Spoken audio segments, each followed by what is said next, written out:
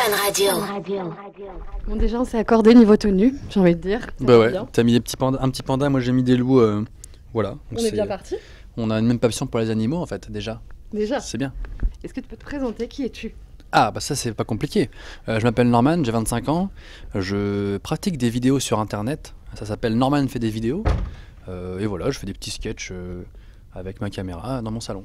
Et alors, comment ça a commencé tout ça? Comment on se dit un jour, euh, je vais faire des vidéos, je vais les mettre sur Internet? Bah moi à l'époque j'étais euh, monteur vidéo. Quand je dis à l'époque c'était il y a deux ans, donc c'était il y a très très longtemps. Euh, je- donc c'était vraiment mon métier, hein, je travaillais etc.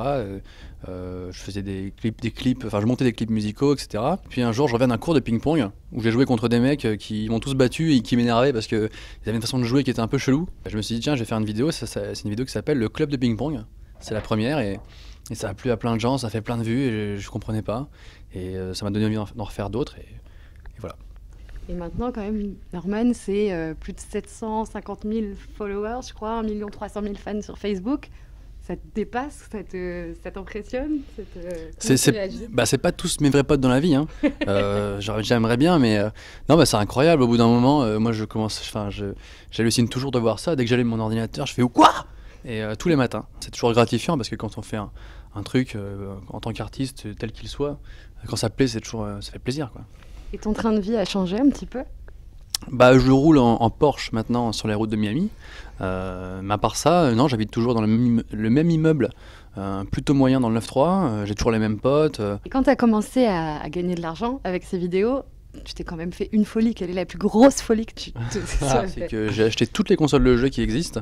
Parce que quand j'étais petit, je pouvais pas en acheter, mes parents voulaient pas. Enfin, j'avais euh, toujours les consoles un peu vieilles, un peu moyennes. Euh, donc euh, j'ai maintenant toutes les consoles qui existent et je ne peux même pas y jouer parce que j'ai pas le temps. Et parlons du film maintenant. Donc, tu avais fait la voix de, de Projet X, c'est ça, la voix française. Mais là, c'est ton premier grand rôle, premier vrai rôle au ciné. tu as dû recevoir plein de, plein de scénarios, pas mal en tout cas. Pourquoi celui-là? Euh, parce que bon, j'ai reçu quelques scénarios en effet, euh, pas des millions, mais euh, c'était pas forcément des comédies, c'était parfois des, drames, des films d'auteur, pas forcément des premiers rôles et des trucs, pas forcément des trucs qui m'amusaient en tout cas. Euh, et là, celui-ci, je le vois, je le reçois, je vois écrit par Maurice Barthélémy, réalisé par Maurice Barthélémy, en tant que grand fan des Robin des Bois depuis toujours.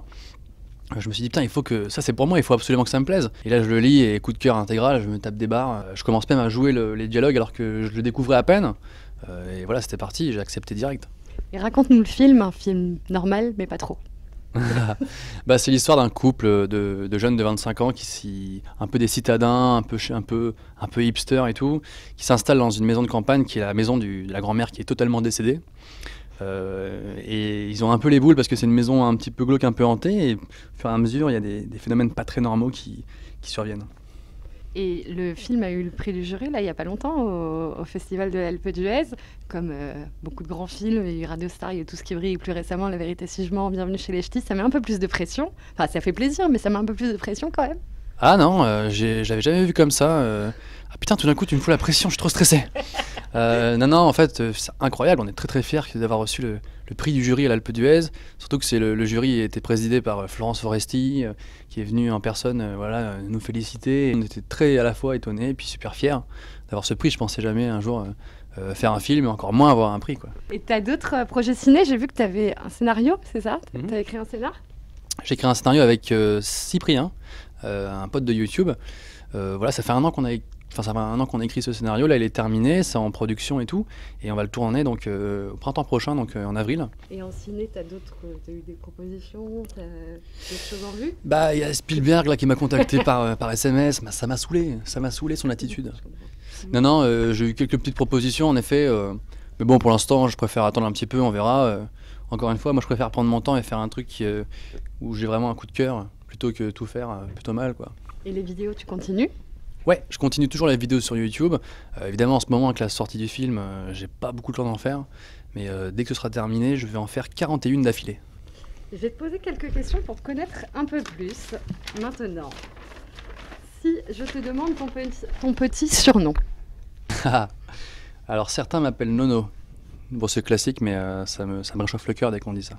ton plus gros défaut, je suis une personne peu concentrée dans la vie. ta plus grande qualité. Je, je joue très très bien en ping-pong. Non, c'est Quelle belle qualité Je sais pas si c'est une qualité.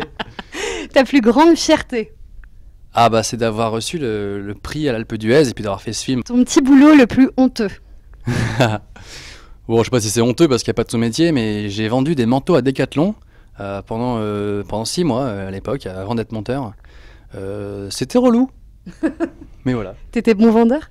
Ouais, je suis assez calé en manteau maintenant. Si tu veux des petits conseils en termes de doudoune, je suis là. On se cale après. ok Voilà. Ta meilleure note en maths Euh, écoute, euh, j'ai jamais eu euh, de la moyenne en maths, je crois. Je suis l'homme le plus nul du monde à l'école. Et ta radio préférée Euh, moi, c'est Fun Radio, toi, je sais pas. Fun Radio, bien sûr. Ah, mais Eh, comme sur ton micro Panda, Fun Radio. Tellement d'art. C'est bon, quoi. Est-ce que tu as un dernier petit message aux auditeurs de Fun Radio pour les inciter à aller voir ce film? Euh, c'est un film très très rigolo. Euh, Allez-y en, en bande, etc. Et si vous voulez draguer une petite meuf dans votre entourage, euh, c'est le moment d'y aller. Et puis à la fin du film, de l'embrasser langoureusement avec un maximum de bave. Fun Radio.